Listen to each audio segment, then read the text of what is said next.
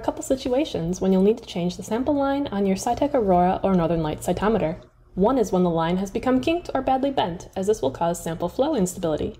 The other is when the line has become badly clogged, which you'll know when you're trying to acquire and your flow rates are consistently near zero and no amount of cleaning is helping. To change the sample line, all you need is a new one, which you can order from our website at cytekbio.com using the part information shown here. With your cytometer powered off, go ahead and open up your system so you can open the SIP access door. Remove the tube from the cytometer, then grab this metal part on both its sides and gently glide it down so you can better access the components. Next, disconnect the black plastic nut at the top that connects the sample line into the flow cell, lefty-loosey. Once disconnected, go to the other end and disconnect the beige nut. When loosening this one, be careful not to disconnect the second nut just beneath it, as that one needs to stay on the system.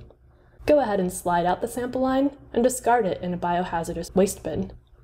Grab your new line and inspect it to make sure it isn't kinked or bent and that the components are intact. Next, Screw the black plastic nut into the flow cell. Remember, righty-tighty.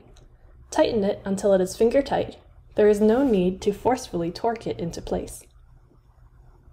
Once this end is secure, grab the other end of the sample line and thread it back down through this beige nut.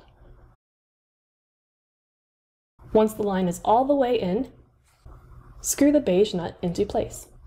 Again, this part only needs to be finger tight there's no need to forcefully torque it into place. You'll feel it once the nut has reached the bottom.